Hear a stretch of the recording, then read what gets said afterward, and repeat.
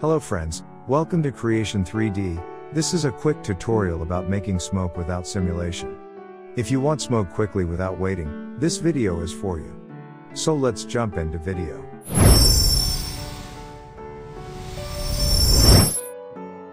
The model I am using in this video was freely downloaded from Sketchfab.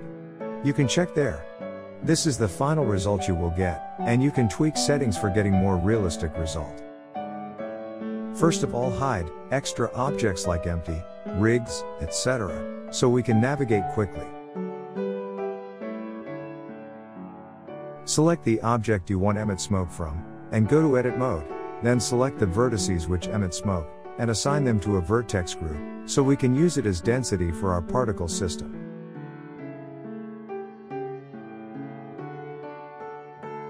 Now go to particle system, and create a particle system with emitter type.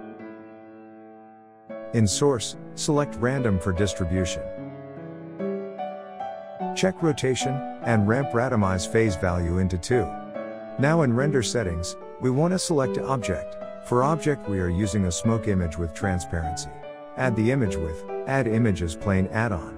Now we want to make a small change in smoke material. So go to shading workspace. Connect color output from image to alpha of principal BSDF, instead of the alpha output. Now connect a color ramp between alpha and color output, so we can control the color and transparency of our smoke.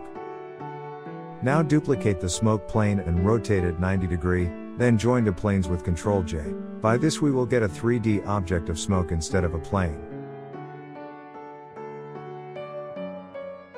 Adjust the color ramp to get your desired result.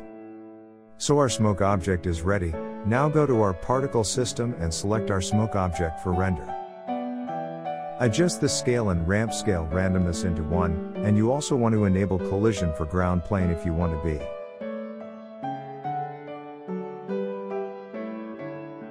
Now add wind, or any other force field, which is your choice, in my case I am using wind. Increase strength in wind properties, and then we want to change some settings in particle system, for our desirable result. Change lifetime of particle to a lower value if you want to disappear smoke quickly, for longer time increase value to a higher number, these settings will depend to the scene.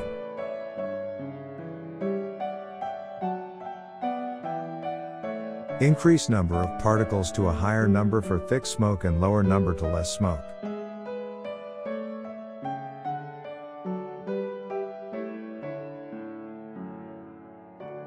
Now, in Physics tab, you can also change mass of our object, this make a big change in our scene.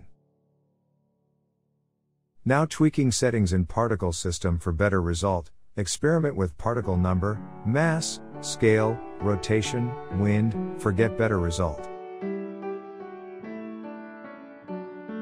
That's it for the tutorial, hope you learned something new from this video, have a nice day.